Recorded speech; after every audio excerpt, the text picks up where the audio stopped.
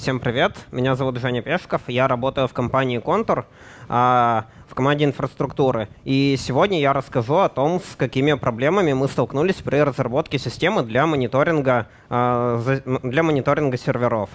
А, окей. Что я имею в виду под мониторингом? Под мониторингом я имею в виду собрать различные метрики, например, э, загрузку процессора, потребление памяти в разрезе всей машины по отдельным приложениям, ну и какими-то другими способами. А, чтобы это сделать, есть довольно уже много готовых инструментов, например, Process Explorer, тот же Task Manager, а, но все это утилита с графическим интерфейсом, а нам хочется все эти данные агрегировать в одном месте и каким-то образом э, строить по ним автоматические аналитики или выводить, например, графики в графане. И для этой цели нам э, инструменты с графическим интерфейсом не подходят. А, основная проблема, с которой мы столкнулись, с тем, то, что есть много неправильных способов собирать метрики, а, которые приводят к тому, что на серверы появляется дополнительная нагрузка. То есть сбор метрик замедляет э, те приложения, которые уже работают. А, окей. О чем сегодня будем говорить конкретно? Вначале мы поговорим о классе System Diagnostics Process в .NET и о том, что в нем не так. Поговорим о о таком инструменте операционной системы Windows, как Performance Counter. Разберем, какие есть особенности у менеджет обертки над Performance Counter. И совсем немного поговорим про ETW и новые инструменты для мониторинга, которые появились э, в .NET Core. Итак, давайте начинать. А, вначале я напомню а, некоторую важную информацию о метриках по памяти. А, есть э, две основные метрики по памяти процесса. Первая называется private bytes. Она же называется commit size, и она обозначает, сколько байт памяти всего было выделено процессом. Если мы в нашем C-Sharp коде напишем вот такую строчку, а, создадим новый размер массивом 10 мегабайт, то private bytes увеличится на 10 мегабайт. А, при этом есть и другая метрика, working set — она не увеличится, если мы просто создадим новый массив. Она увеличивается только тогда, когда выделенная память попадает в физическую память. То есть, э, когда мы выделили массив, он находится где-то а, в нашем адресном пространстве, но в физическую память еще не попал. Если мы пробежимся по массиву циклом с шагом равным размеру страницы, то у нас а, страницы памяти этого массива попадут в физическую память, и working set у нас тоже увеличится на 10 мегабайт. Нужно помнить то, что метрики под названием память не существует. А, то есть, что это значит? Значит, если где-то метрика называется память, то надо уточнять, что это private bytes или working set, потому что если а, не знаете, что именно мы измеряем, мы можем, например, пропустить утечку памяти. А как же нам эти метрики, private bytes и working set, а, собрать э, из .NET приложения? Ну, мы пишем нашу систему мониторинга на .NET. Мы можем использовать класс System Diagnostics Process. А у него есть э, property, working set 64, private memory size 64. Они возвращают нужное нам значение. Как это использовать для замеров? Примерно вот так мы создаем объект процесса для нужного нам процесса, а, замеряем потребление памяти до потребления памяти после, в данном случае меряем private bytes. И как вы думаете, насколько а, увеличится private bytes, если мы создаем новый массив размером 10 мегабайт? Вот если мы используем такой код, ответ будет 0. Все потому, что класс процесс кэширует первое замеренное значение, и нужно вызвать еще процесс refresh. Но даже если мы напишем здесь процесс refresh, будем создавать массив размером 10 мегабайт, мы получим число 11,5 мегабайт. Казалось бы, куда пропали полтора мегабайта?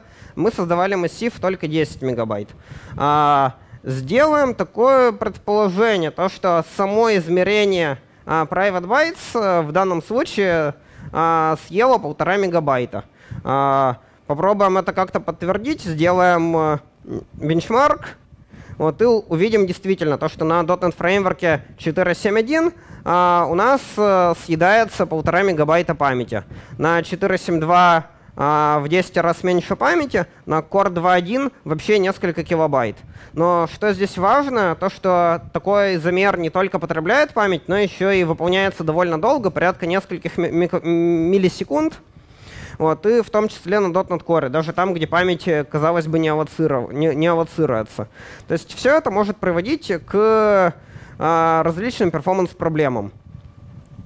А, в чем причина этого? В том, то, что класс System Diagnostics Process использует э, нативный NT-API, NT Query System Information, э, с флагом System Process Information. Такой системный вызов возвращает информацию сразу обо всех процессах и потоках, которые есть в системе. А, то есть э, что получается? Получается, что мы хотим померить метрики для одного процесса, меряем сразу для всех. Потом они фильтруются уже на стороне менеджет кода.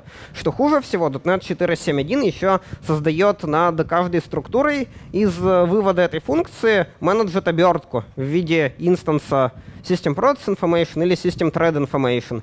Соответственно, это приводит еще и к большой нагрузке на Garbage Collector, потому что у нас очень много объектов. А, в чем э, разница между 4.7.1, 4.7.2 и .NET Core? В 4.7.2 а, стали фильтровать а, процессы и создавать System Thread Information классы только на тот процесс, который нам нужен. А в .NET Core поменяли классы на структуры, поэтому там потребление памяти, memory трафик упал со 120 килобайт до 3. Это помогло. Но надо все равно помнить то, что NT Query System Information дорогой и даже на .NET Core а, может приводить к перформансным проблемам, особенно если у нас все это еще интерферирует с какими-нибудь э, зомби-процессами или зомби-потоками. Если интересно, я потом расскажу. А, можно ли сделать лучше? Можно ли лучше мерить и быстрее метрики по процессу? Конечно. А, мы можем использовать напрямую WinAPI. А, функция под названием getProcessMemoryInfo позволяет это сделать довольно легко. Вызываем эту функцию, получаем нужное нам значение. А, как видим, это не аллоцирует памяти вообще. Чтобы понять разницу по времени, все проведем к одним и тем же единицам, к наносекундам. Видим то, что способ с WinAPI работает примерно на 5 порядков быстрее. Окей. А, краткие выводы из этого. Класс System Diagnostics Process неэффективен для задачи измерения метрик, если мы собираемся мерить метрики часто. Ну и использовать нативные API оказалось совсем несложно. В одну функцию получаем нужный нам результат а, в 10 тысяч раз быстрее. А, также, кроме метрик по памяти, нам нужны и другие метрики. А, например, а, загрузка процессора или метрики, специфичные для .NET, например, размер различных поколений в куче. А эти метрики через класс процесс не получить, нужны другие инструменты. И в Windows таким инструментом являются перформанс-каунтеры. А, что это такое? Это универсальная API операционной системы Windows для сбора различных метрик. А, неважно, из какого источника эти метрики приходят, а, в Performance Counter попадают метрики как по операционной системе, так и метрики .NET. Можно какие-то свои метрики положить в Performance Counter и потом их оттуда прочитать. Но этого API есть э, довольно много недостатков. Я считаю, то, что все эти недостатки происходят из-за того, что Performance Counter изначально затачивались под использование из инструментов с графическим интерфейсом, а именно из утилиты perfmon. Эта API довольно сложная, и иногда она бывает нестабильной, то есть э, внезапно начинает из performance каунтеров вылетать эксепшены, проблема решается перезагрузкой сервера. А. Другого способа не нашлось. Вот, и, ну, есть там еще какие-то хаки с реестром, но это отдельная тема. А, как выглядит метрика в перформанс-каунтерах? А, метрика задается тремя частями — категорией, инстансом и каунтером. А, категория — это некоторая предметная область, по которой можно собирать метрики. Например, процессы или а, сборщик мусора в .NET. А, Instance — это некоторое сужение категории на отдельный объект. Например, если у нас категория процессы, то ее сужение — это какие-то конкретные процессы, которые запущены в системе. Аналогично для дисков э, есть э, отдельные инстансы. Допустим, физический диск э, под номером один, на котором находятся разделы D и E, вы видите то, что имя довольно читаемое. Если у нас разметка диска как-то поменяется, нам придется имя инстанса тоже обновить. А, также инстансов в категории может не быть вообще, например, в категориях, которые относятся ко всему хосту сразу, как категория memory. Ну а каунтеры — это уже конкретные метрики. Например, по процессу мы можем узнать загрузку процессора, а, различные метрики, связанные с памятью, и вот такую интересную метрику под названием working set private. Вы ее тоже не найдете в классе process, это как раз именно та метрика, которая показывается а, в Task Manager. Это не private bytes, не working set, это другая метрика. Вот, имейте это в виду и заглядывайте на разные вкладки этой штуки, если пользуетесь ей. А, вот это а, окно утилиты perfmon, именно браузер перформанс каунтеров. А, таймер пропал. А, вот это браузер performance каунтеров, э, он находится в утилите perfmon. Если будете работать с каунтерами, обязательно в него загляните. Здесь можно посмотреть категории, каунтеры, инстансы а, и все, что с этим связано. Также есть а, description для каунтеров. Это человекочитаемое описание того, что значит та или иная метрика. А иногда эти описания полезны, иногда бесполезны, но все равно загляните. А, Давайте теперь посмотрим, как все это использовать из кода а, в .NET фреймворке. А, ну и в Nuget для .NET Core есть э, а, класс System Diagnostics Performance Counter. Мы ему передаем а, категорию instance, э, instance и counter. А дальше можем вызывать метод nextValue, он нам возвращает какой-то double, значение performance counter измеренное. А, казалось бы, вот такой простой код, и что здесь может пойти вообще не так? А, на самом деле здесь все может пойти не так. А, Во-первых, может вылететь exception, причем он может вылететь хоть откуда. Как э, из конструктора, так и из метода nextValue. Так что а, все обращения к ним придется обернуть э, в try-catch. А, но это не самое не самые еще большие проблемы. А, на, самом деле вы даже пока не знаете, что этот double э, значит.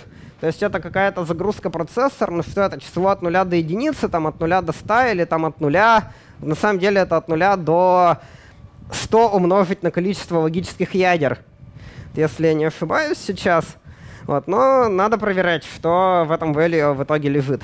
А также есть э, много подвохов, связанных с instance name ами, особенно для процессов. Например, у нас есть э, а, приложение под названием MyProgram, и мы хотим а, измерить метрики для него. Для этого мы в качестве instance name а используем строчку MyProgram. А, возникает вопрос, что будет, если у нас MyProgram запущен в нескольких экземплярах. А, казалось бы, в операционной системе есть процесс ID, и мы должны как-то использовать его для идентификации инстанса. Но в перформанс-каунтерах все сделано абсолютно по-другому. Там используется не процесс ID, а собственные ID-шники, которые выглядят вот так. MyProgram, MyProgram э, решетка 1, MyProgram решетка 2. А, и возникает вопрос, а как нам по process ID понять, какой instance name соответствует нашему процессу? А, для этого существуют а, некоторые другие performance counter ы под названием а, Process ID Process и .NET CLR Memory ID Process. А, эти performance counter ы могут решать обратную задачу. Они по instance name возвращают Process ID. Мы хотим Process ID по instance name, здесь же наоборот. Первый надо использовать для каунтеров из категории Process, второй для всех каунтеров, связанных с .NET. там э, различные идентификаторы процессов, и не получится использовать идентификаторы из одной категории для другой. Мы пишем вот такой код, создаем э, другую обертку над перформанс-каунтером под названием performance-counter category, узнаем, какие инстансы вообще есть в категории, потом для каждого из этих инстансов э, запрашиваем, какой у него процесс ID, и ищем нужный нам вот таким линейным обходом. Какие здесь могут быть проблемы?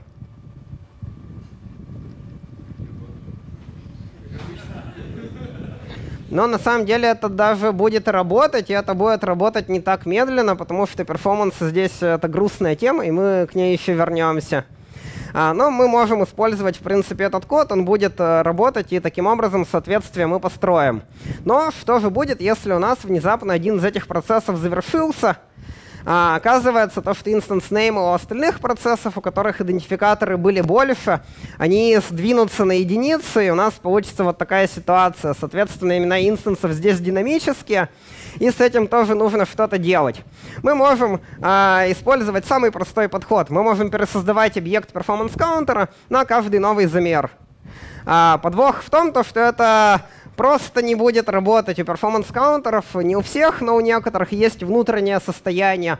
Им для того, чтобы получить корректное значение, нужно знать результаты двух последних измерений. Таким образом, например, для загрузки процессора у нас с пересозданием каунтера всегда будет э, возвращаться 0. Соответственно, нам нужно написать некоторую обертку, например, Dynamic Performance Counter, который будет принимать э, лямбду, которая будет вычислять по процесс ID правильный instance name, и Dynamic Performance Counter будет внутри отслеживать, поменялся ли instance name, и при необходимости пересоздавать managed объект performance counter. Довольно сложная схема, но мы с ней даже долгое время а, жили на продакшене. А, надо сказать то, что есть и более простой способ решить проблему с instance name. Мы можем прописать специальную настройку в реестре, и тогда у нас instance name заменятся на процесс ID. Но а, такой подход будет работать только для категории процесс. Это не работает для .NET категорий. А, и это может сломать некоторые инструменты, которые заточены под работу именно со старым форматом instance name, в котором есть индексы, а не процесс ID. Теперь давайте к грустному перейдем, к перформансу перформанс-каунтеров. А, я побенчмаркал а, обращение к каунтеру process ID process и .NET CLR memory process ID. И получил вот такую картину. В категории process этот вызов работает 26 миллисекунд и аллоцирует 4 мегабайта памяти. 4 мегабайта менеджет памяти на один вызов. В .NET CLR Memory а, все немногим лучше, а, примерно 2 миллисекунды времени и 1 мегабайт менеджет памяти. А, вот для этого теста у меня специально было запущено примерно 400 дополнительных процессов на машине. А, определили число, посмотрев, сколько запущено на серверы. Но а, вот эти а, числа, результаты бенчмарка, они зависят от количества запущенных процессов. А, потом дальше поймете почему. А, как вообще работает performance counter? А, есть некоторая обертка, например, System Diagnostics Performance Counter, и эта обертка а, использует API реестра операционной системы Windows. Почему-то разработчики решили то, что а, сделать работу с перформанс-каунтерами через обращение к реестру — это довольно хорошее решение, не знаю почему. Мне кажется, то, что API у реестра и перформанс-каунтеров не похожи вообще. А дальше а, реестр Windows, когда происходит обращение в, специальную, в специальный куст реестра HK Performance Data, понимает, то, что это на самом деле обращение к counter и использует специальные библиотеки под названием Performance Data Provider, которые уже знают, каким конкретным образом получить значение для той или иной категории performance counter. Мы можем использовать requery value x а, функцию из VNP напрямую или а, аналогичную функцию в .NET, обратиться напрямую к HK Performance Data, но уже здесь вместо процесса ID процесс counter нам придется обратиться к каунтеру с идентификатором 230 784 что бы это ни значило. На самом деле 230 — это идентификатор категории процесс, а ID процесс — это идентификатор э, э, каунтера. 784 — это идентификатор каунтера ID процесс.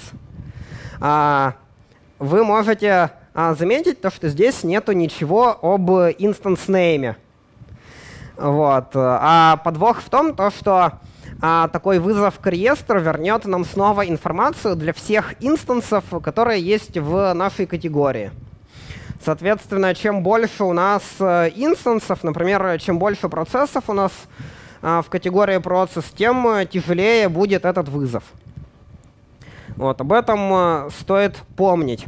А, вообще, такой э, способ работы с каунтерами через реестр обладает вот этим недостатком, что он возвращает много лишних данных, но гораздо большая проблема то, что .NET обертка над performance каунтером, когда парсит то, что вернулось из requery value x, генерирует довольно много memory трафика, и использует э, сам API довольно неэффективно. А, мы собираем метрики для одного процесса, для одного инстанс нейма, хотя могли бы собрать их сразу для всей категории. На самом деле там есть способ собрать э, метрики сразу для всей категории, но он э, создает еще больше memory трафика, который в некоторых ситуациях полностью компенсирует вот то, что мы сразу получили все значения. Нам проще вызвать несколько раз функцию, э, сгенерировав меньше memory трафика, чем э, получив весь вывод за один раз и создав э, просто огромное количество объектов. А, давайте заглянем на MSDN, что там говорится об этой проблеме. А, есть статья using registry functions to consume performance counter data, а, в которой сказано, что нам не надо использовать функции реестра для доступа к каунтерам, а надо использовать более удобный API под названием Performance Data Helpers. А, давайте на него посмотрим. А, Performance Data Helpers — это на самом это библиотека, которая входит в состав операционной системы Windows, и она, по сути, упрощает работу с API реестра. Вот. В ней уже нету каких-то безумных идентификаторов, нету сложных бинарных структур. Можно просто вызывать функции и э, сразу получать нужный нам результат. Давайте посмотрим, как это выглядит. А, мы вначале создаем PDH query. Это некоторый scope нашей операции с performance counter ами. Дальше мы в этот scope добавляем performance counter ы. Причем мы можем а, использовать wildcard. А, например, э, мы можем а, задать маску для тех instance name ов, которые нам нужны. Мы можем добавить сразу несколько counter ов в наш э, query.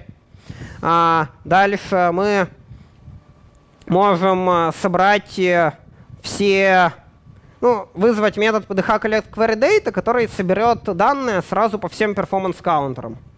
А, после этого а, мы читаем значения для отдельных каунтеров, которые добавлены в наш query. Мы можем несколько раз повторять этот цикл collect query data, uh, get counter values. Дальше, когда мы закончили работать с каунтером, мы закрываем вот, наш query, вот, чтобы освободить нативную память, которая uh, в нем используется. А, что мы делаем дальше?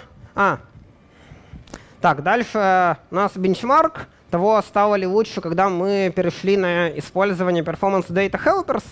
И если вам здесь видно, вам видно? А, не знаю, наверное, на следующие доклады стоит экран показать э, лучше в зал. А, окей, пока не важно. А, что мы получили? После того, как мы заиспользовали Performance Data Helpers, а, в категории .NET Cellular Memory у нас все стало просто летать. А, все операции происходят за несколько микросекунд, а в категории процесс почему-то у нас до сих пор остался значительный overhead, а, и производительность улучшилась э, всего лишь в 5 раз, с 25 миллисекунд до 5. А, память у нас при этом аллоцироваться перестала вообще, мы все переиспользуем, все объекты, которые используются в нашем коде, лежат в пулах. Uh, всякие структуры, вызовы к WinAPI менеджет uh, память не аллоцируют, performance memory трафик не создают. С этим здесь все хорошо. Но остается всегда вот, когда сделали какую-то сложную штуку, а, например, заиспользовали какую-нибудь новую api надо задаться вопросом, а все ли теперь хорошо, ничего ли мы не сломали. И в этом случае оказалось то, что мы как раз э, довольно многое сломали, а у нас э, осталось, у нас есть некоторые сервера, на которых установлена русская операционная система Windows, и в русском Windows каунтеры называются примерно так — процесс, процент загруженности процессора, процесс рабочий набор. Рабочий набор — это working set. Исключение CLR.NET глубина от выдачи до захвата, чтобы это не значило. Вот. Performance counter ы локализованы, причем переведены, скорее всего, Bing ом. И хуже всего то, что эти имена, они выставлены в а, программные API, performance counter ов, и нам нужно учитывать э, локализацию при работе с counter ами. Разработчики .NET фреймворка о нас позаботились, их менеджет обертка о локализации знает, а вот наши а, каунтеры на основе Performance Data Helpers э, ничего о локализации не знают. Вот те строчки с идентификаторами, там 230, 784, если помните, как раз используются для того, чтобы прокидывать э, их э, на разных языках. Вот, то есть э, на разных версиях Windows, на русской, на английской, номера каунтеров будут отличаться, и имена каунтеров будут отличаться, но при этом до них можно достучаться всегда по вот этим идентификаторам, которые 230, 784 или какое-то другое число для вашего случая. На самом деле эти числа можно даже поменять в реестре и полностью сломать перформанс-каунтеры. А, к счастью, а, разработчики Performance Data Helpers тоже учли эту проблему, и поэтому а, в их API есть э, функция под названием PDH Add English Counter. Мы заменяем PDH Add Counter на PDH Add English counter, и у нас все начинает работать как раньше. А, но API English counter появился, если я не ошибаюсь, только начиная с Windows Vista. Вот, и, скорее всего, именно по этой причине а, разработчики .NET Framework накрутили свои костыли вместо использования PDH. Потому что им нужно было когда-то поддержать Windows XP, когда они дропнули поддержку Windows XP, на Performance Counter э, не обратили достаточного внимания. А, так, э, собственно, вернемся к нашему бенчмарку и э, вспомним о том, что в категории процесс у нас производительность улучшилась незначительно. А, только в 5 раз, когда в .NET Cellular Memory а, порядка 100 раз. А, в чем же здесь подвох? А, категория процесс а, работает аналогично классу System Diagnostics Process и обращается к API Antiquary System Information. Как мы знаем, это медленный API, который собирает сразу очень много информации. А, собственно, поэтому лучше избегать использования а, категории процесс в performance каунтерах. Для многих сценариев можно использовать подходящие вины API. Например, здесь показаны функции для измерения загрузки а, CPU вот, без э, использования performance каунтеров. А, Теперь еще один интересный пример, связанный с каунтерами. А, например, мы хотим собрать э, метрики по всей э, машине сразу. Мы хотим знать э, а, метрики, связанные с, например, потреблением памяти а, драйверами. Для этого мы можем использовать либо категорию memory в performance каунтерах, либо а, функцию WinAPI, WinAPI getPerformanceInfo, которая возвращает в точности а, то, что нам нужно. Окей, кто считает то, что performance counter ы будут быстрее? Кто считает, что WinAPI будет быстрее? Вот, почти все. А на самом деле это тот единственный случай, когда, который я нашел, когда performance counter ы у WinAPI выигрывают. Вот getPerformanceInfo работает 4 э, миллисекунды, когда а PDH Performance Counter работает только 40 микросекунд. Вот, разница получается в 100 раз. Поэтому, а, ладно, давайте подводить итоги про перформанс каунтеры. А, нужно знать их особенности и уметь их готовить, если вы решили их использовать. А, если вам нужно с ними работать особо активно, лучше посмотреть в сторону API Performance Data Helpers — ну и нужно сравнивать различные способы сбора метрик по перформансу, потому что здесь все может э, довольно отличаться от случая к случаю. В одном случае выигрывает один способ, в другом другой, и без э, теста в реальных условиях здесь не обойтись. Но performance counter ов недостаточно. У нас есть .NET Core. А метрики по .NET Core приложениям нельзя собрать через э, категории performance counter ов, связанных с .NET. Они предназначены только для framework а. Также перформанс-каунтеры, они ограничены возвратом только числовых значений. А нам хочется иногда собирать более интересные метрики, строить какие-то более сложные статистики.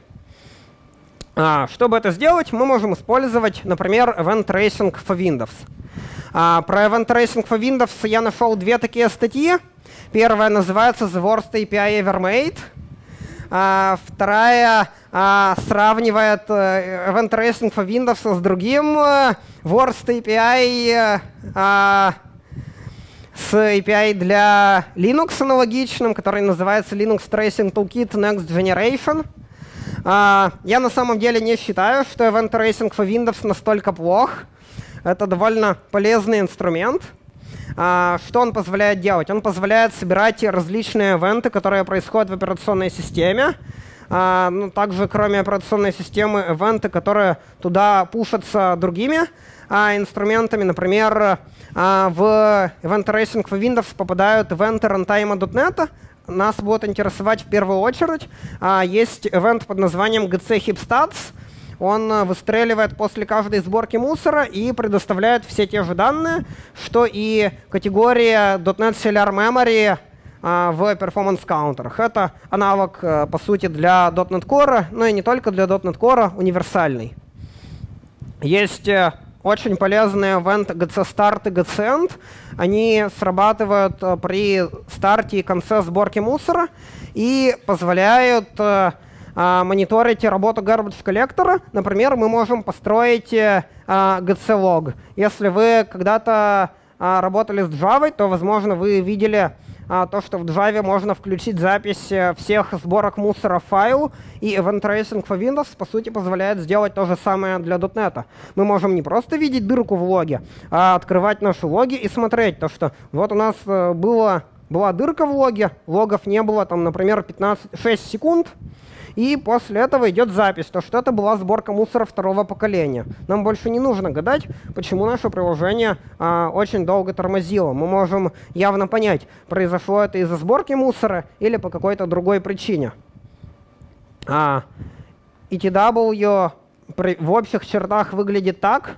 А, есть ETW-сессии. Это некоторые а, буферы в памяти, а, в которые а, провайдеры данных могут складывать э, свои ивенты.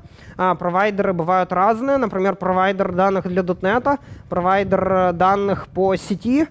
А, можно делать какие-то свои ETW-провайдеры. Но провайдеры на самом деле бывают самые разные. Например, даже можно ну, сделать э, снифер на основе ETW. А, смотреть содержимое всех сетевых пакетов, которые отправляются.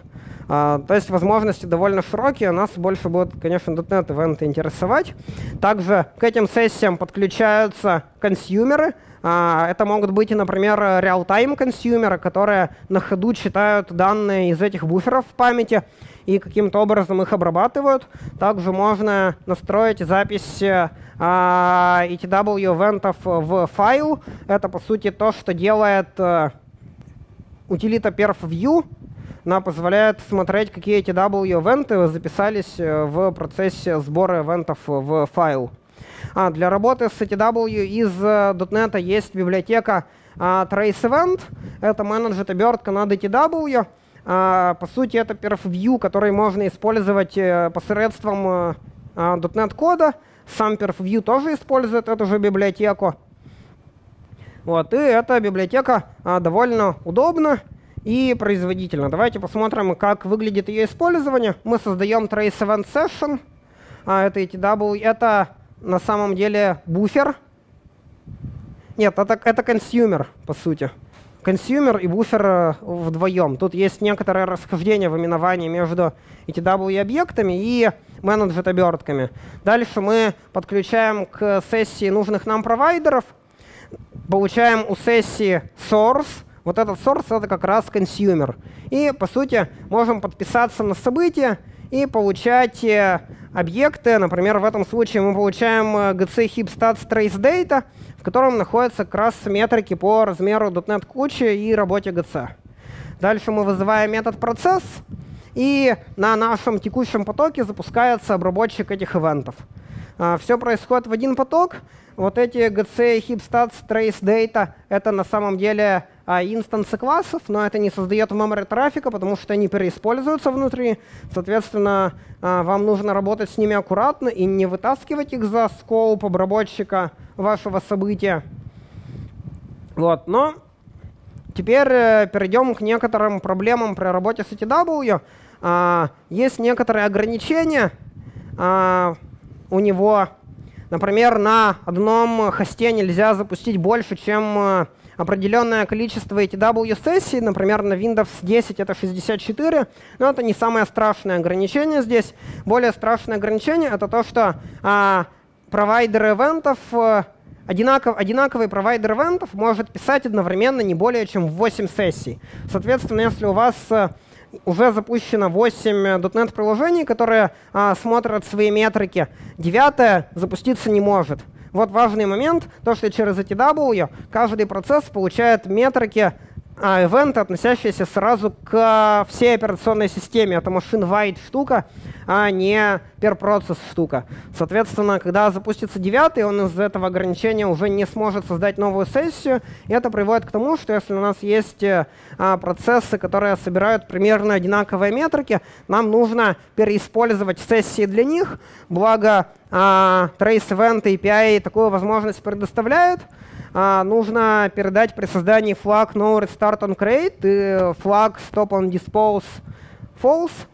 Вот, написать некоторые коды обертку над всем этим, и у нас, в принципе, эта штука будет работать из, из нескольких процессов. А, выводы про ETW. Это универсальный способ для того, чтобы собирать метрики для .NET Core и фреймворка на операционной системе Windows.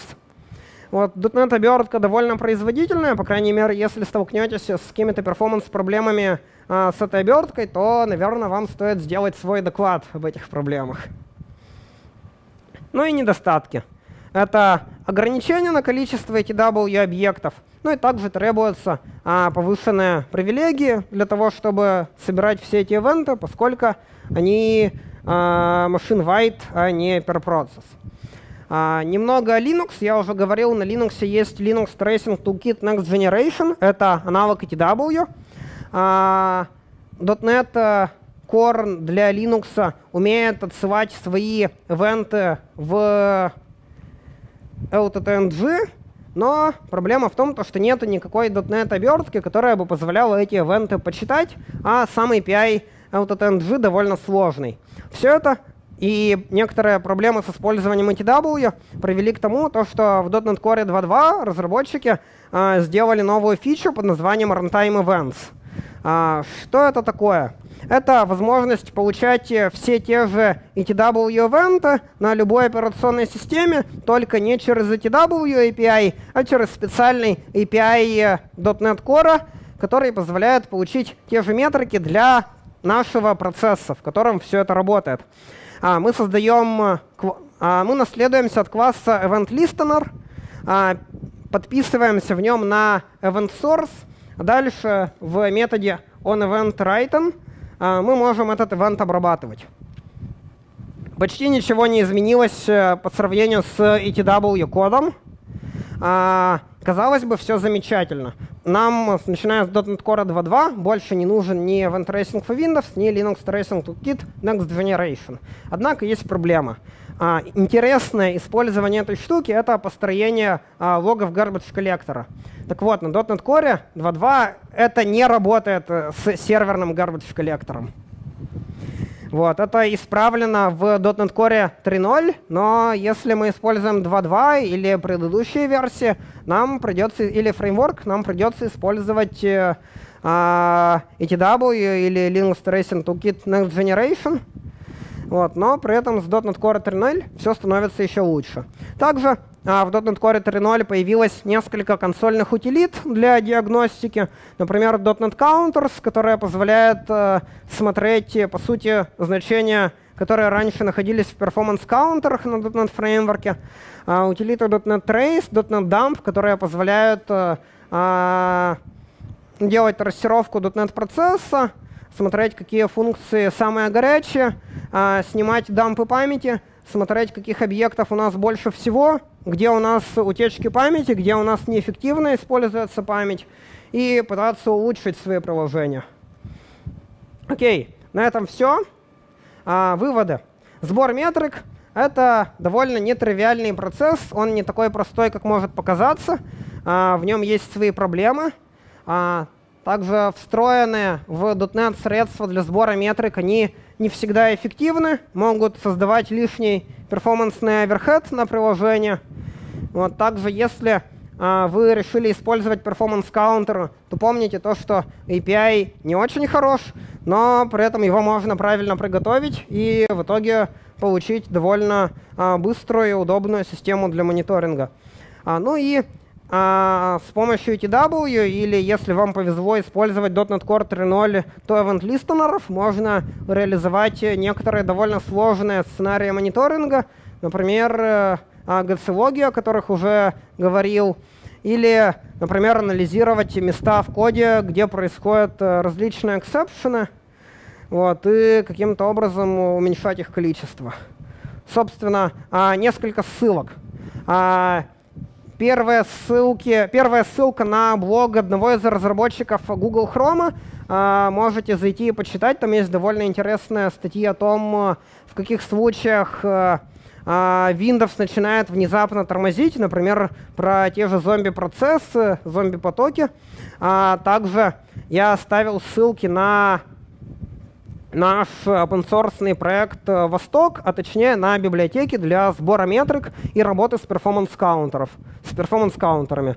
А, насколько я знаю, это единственная библиотека на GitHub, которая умеет работать с Performance Data Helpers из э, .NET кода. Вот. Также а, ссылка на репозиторий с примерами и benchmark ами. Если хотите перепроверить а, бенчма результаты бенчмарков или сравнить, как это будет работать на вашей системе, можете скачать и поэкспериментировать. А, я не знаю, осталось ли время у нас на вопросы, но вы меня можете всегда здесь найти и спросить. Один-два вопроса буквально. Здравствуйте, спасибо большое за доклад. Много новой информации была. У меня вопрос не, собственно, по работе метрикам, а для какой цели они предназначаются. Вы очень много времени потратили, боролись на, для того, чтобы отфильтровать информацию, полученную через API, с машинного по, по peer process. А нецелесообразнее ли было эту информацию, которая в конечном итоге анализируется где-то в системе метрики и так далее, э, на конечной точке отфильтровать, Э, то есть, если вы получили агрегированный список э, метрик по всем процессам в машине, отправить эти данные в сборщик, где эти данные отображаются, алертятся, мониторятся, э, анализируются, и уже в конечной точке отфильтровать по нужным процессам. То есть не во время сборки, например. А, вопрос понятен, но Тут э, как получается? Пользователи, когда начинают э, со всем этим работать, видят API для получения метрики э, по одному процессу. Он не видит то, что позади этого находится сбор метрик сразу по всем процессам, а потом их фильтрация где-то внутри, собственно, приложения. Поэтому очень легко написав там процесс getCurrent process private memory size 64, получить а, нужную метрику, но при этом с перформансным оверхедом. Конечно, если мы а, делаем именно систему для мониторинга, то здесь а, проще всего использовать Performance Data Helpers, если мы работаем с каунтерами, а, собрать метрики сразу по всем инстансам вот, и отправить их а, все одной большой пачкой. Вот, но при этом а, это будет работать на именно серверах, но это, возможно, не сработает, если вы хотите помониторить э, производительность приложения, которое запускает э, пользователь э, где-то в другом месте. Например, если это какая-то стендалон утилита, э, которая запускается и содержит в себе прямо все, в том числе логику отправки метрик. Для серверов, конечно, лучший вариант — это а, взять метрики сразу по всем процессам и отправить, например, в графит другую систему для сбора метрик. Еще вопросы?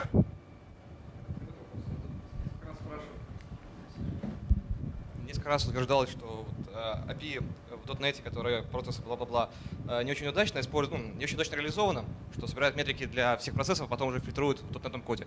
Они пытались, вы, например, в .NET Core э, сделать pull request и улучшить это безобразие.